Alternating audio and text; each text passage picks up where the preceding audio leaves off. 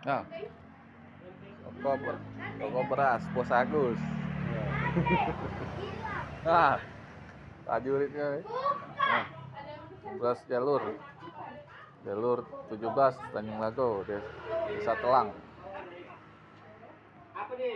Agen beras jalur 17 Desa Telang, Tanjung Lago. Boleh dibeli di toko Bos Agus.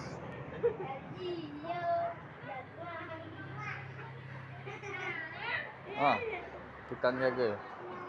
Agung. Ada Nara.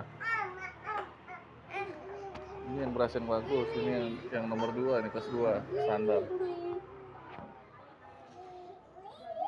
Berasnya pulen. Pulen ini. Enak yang ini. Ini 5 kilo. 5 kilo. 10, 5.